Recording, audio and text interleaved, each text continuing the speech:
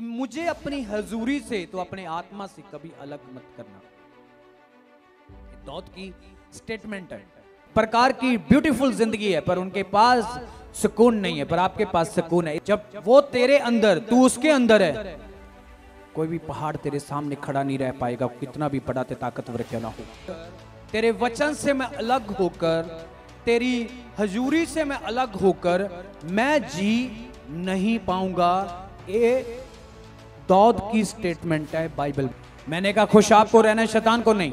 शैतान निराशा में रहेगा, तुम खुश रहोगे।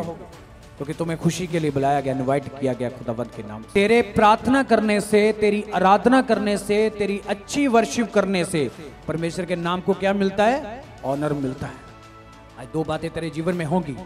पहली बात, जो यीशु मसीह ने यरूशलेम में आके की, सबसे पहले दो काम जब वो गद्दी के बच्चे के ऊपर सवार होकर यरूशलेम में आया, उसने दो बड़े काम किए।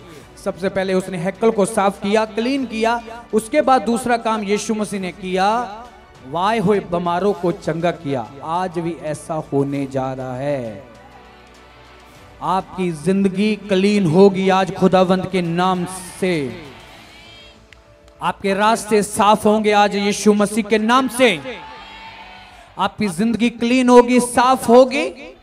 तो जितने रोगी आए हैं, वो आज चंगे होके जाएँगे खुदावंत के नाम से। तेरा आत्मा हमारे लिए सब कुछ है। वो कहेगा, तेरी आत्मा भी मेरे लिए सब कुछ है। ओ जी जब जब दौद ने कहा, सुनो सुनो, जब दौद ने कहा, पिता, तेरा आत्मा मेरे लिए ज़रूरी है। तो वो सेम चीज़ आपके लिए। यीशु मसीह कहता, तेरा आत्मा भी मेरे लिए बहुत ज़रूरी है।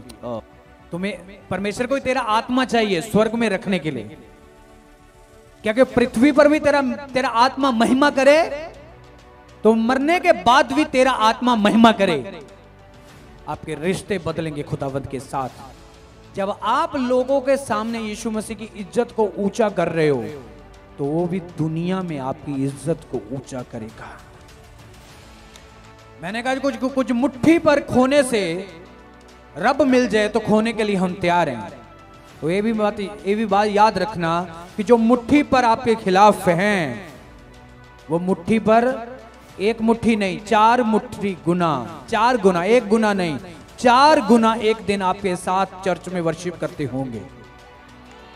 कोई पैदा ही नहीं हुआ जो आपको डाउन कर सके, जब परमेश्वर आपको ऊँचा करेगा ऑनर देगा।